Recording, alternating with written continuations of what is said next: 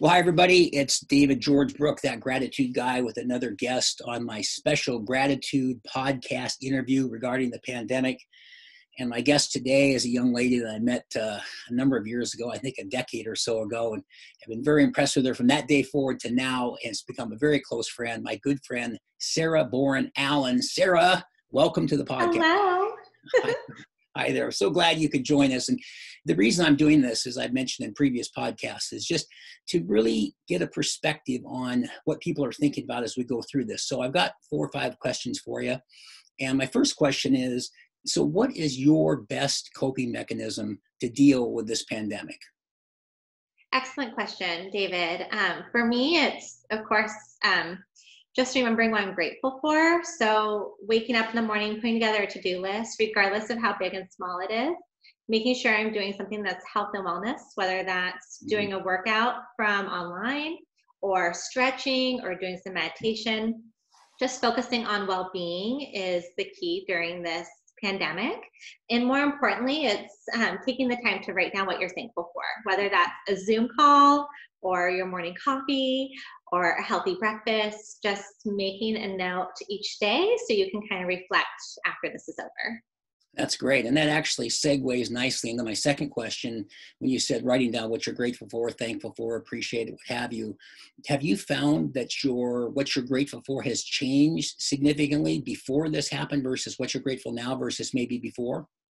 Yes, I feel like um, it's honestly forced me to slow down and appreciate the little things, mm-hmm. whether that's connecting with a friend online or just the beauty of what's blooming outside, slowing down and reflecting on what's more important and essentially like what makes me tick as a human could be completely different than what makes someone else tick. Mm-hmm. And then also spending quality time with my dog. Usually mm-hmm. I am running a hundred miles per minute and leaving the house at 6:30 a.m. and being wow. able to stay at home right now, work from home and spend quality time with the dog and my husband has been huge yeah that's that's fantastic. And, and i was thinking as you were saying that in time with the dog and knowing you and corey as well as i do you better but certainly corey as well. Both of you uh, neat young individuals just go go go juggling a ton of balls.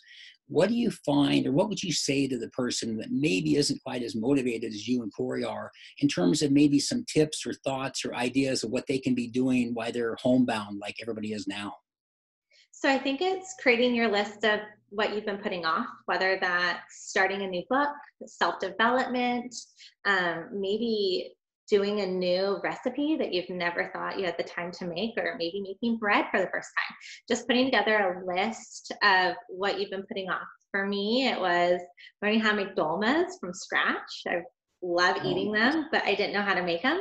And it ended up turning into a three hour project. And for me, that was a huge accomplishment for the day. It was a Tuesday and I got to check something off. So um, I would say just create a list and then read some books or watch a show that you've been dying to see and watch the whole season. I think it's anything big or small you can put on that list to do. Excellent, excellent, excellent answer. And would you say, do you have, whether it's maybe just Sara, not so much Sara and Corey, but do you have sort of a mantra or a quote or something or a philosophy that you kind of use that sort of typifies or sustains you just through life, but certainly through this, but maybe something that is kind of a, a, a overarching philosophy that you have above everything that kind of guides you? You know, I feel like I have several, but the thing that stands um, out the most is joy. So finding joy um, in anything. And I think that that can pertain to a lot of different facets of someone's life, whether that's encouragement email from a colleague or um, just having that interaction online with a friend that you have lost touch with, or maybe sending a card in the mail to someone that is on your mind. So I think joy would probably be my mantra through all of this. This is a very scary and um, un, unexpected time and today. And so just taking what you can control and what you can't control is your own joy or what you can give to others. And so um, I think that should be the that's our personal mantra.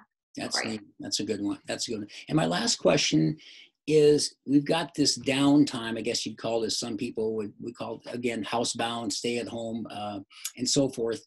what are you going to be doing now so that you could hit the ground running when this thing ends? Because we know it's going to end. We don't know when, but we know it's going to end at some point, vaccines or otherwise. But but what are you kind of formulating now so when it does, that you can really take off maybe to a new normal?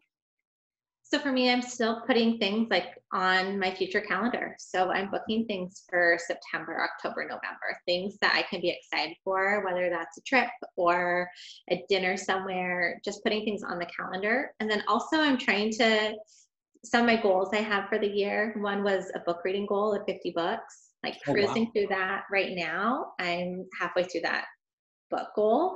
And so being able to say, I'm going to hit my 50 books is huge. Um, so that is just two of them. And then also still doing something fitness. So when I get back out um, in society and go to my Orange Theory classes or my Pure Barre classes, I'll still feel like I'm not completely unfit. And so I'm still doing the online workouts um, throughout my week. It's not every day, but it's at least twice a week. So just a few things I'm doing to feel ready to go back. And that's good too. And it, I mentioned a new normal. I have an online fitness uh, group called X Gym, and I would go to the gym, and it was great. It's a 22 minute workout, but now it's online. I like it so much. I may not go back, and I think that's why there will be probably a new normal to a lot of this. But, but just so I was clear, you've already read 25 books. 25 books this year. So oh, I've read. That's so impressive. I've read since the whole quarantine started. I've read 11 books. Oh. So I have just had like a personal goal every day of carving out time to read, um, where I would normally never get to have that opportunity. That is fantastic. Well, as you know, I've always been a little concerned about your lack of motivation. So I know. about that. So that's great. Well, listen, thank you so much. Those were great tips. And as I said, the whole idea is to get out there and maybe give people some inspiration or some thoughts or ideas or motivation of what they can be doing because now this uh, this downtime could put could prepare people really to hit the ground running, as I said, because when it's over, I think there's going to be a new norm and a lot of exciting things happening. Absolutely. Yes. Yeah. Thank you so much, David, for letting me come and chat today. I appreciate it. You bet. Thank you so much for being here. We'll chat soon. Sounds great. Thank you. Bye bye.